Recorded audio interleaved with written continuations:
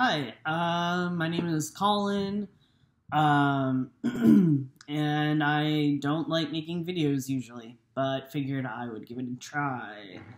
Um, so it is February,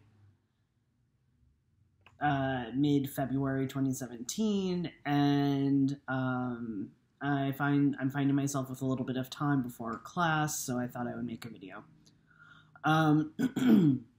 I've been following a lot of guys who have have been planning for phalloplasty or are post-op phalloplasty, and that's been really important.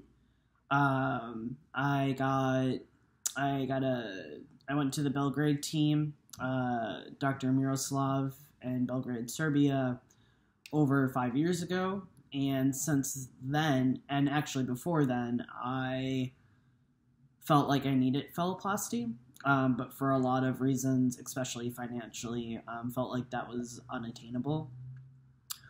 Um, I also paid for all of my surgeries through student loans, so I'm in a lot. Of, I have a lot of student loan debt, and that just wasn't something I was willing to do for phalloplasty. Um, so, um, through a lot of research and talking with other folks, I um, found out that there was a more likelihood that I could get um, phalloplasty covered if I moved to Portland, Oregon. Um, so I did that, and now I'm here, and I've been in grad school uh, for a little less than a year. Um, I'm almost done. I graduate in June. Um, and since moving here, I've actually had two consultations with Dr. Berli um, at OHSU. And um, the first time was great. It was just kind of like information gathering. Um, the second time, I came in with um, some more serious questions. Um, and had a friend come with me and um, I did record the consultation, but I somehow lost it. I don't know. It may have been on an old phone of mine um, because I wanted to transcribe it and post it online for everyone. So, unfortunately, I don't have that.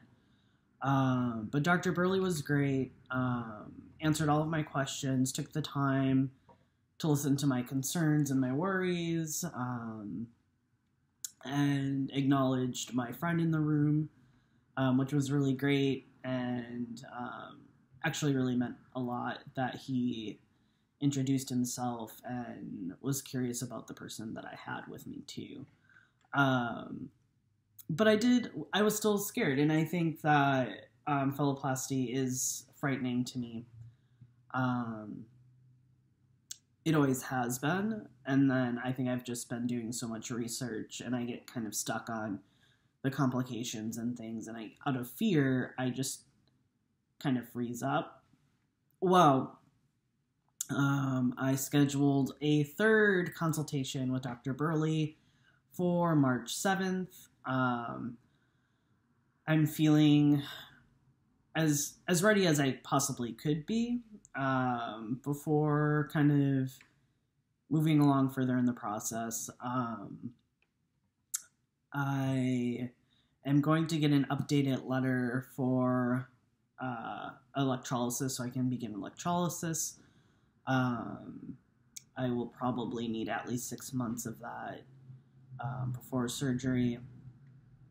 Um, so I think I'm I think I'm moving in that direction for RFS RFF uh, phalloplasty, um, and thought I would start kind of tracking, kind of like sharing some dialogue with you guys. Um, I know how important it's been um, to find videos and uh, Transbucket and Yahoo groups and Facebook groups and uh, what's the other one? Instagram. Um, so a lot of those outlets have been really helpful for me, and I wanted to keep that uh, momentum going by sharing my experience with you guys. Um, so hopefully, um, I'll be able to get into some type of habit um, routine of making videos uh, when important updates come come up. So my aim is to post another video after my consultation in March and share with you all um, where I'll be going from there.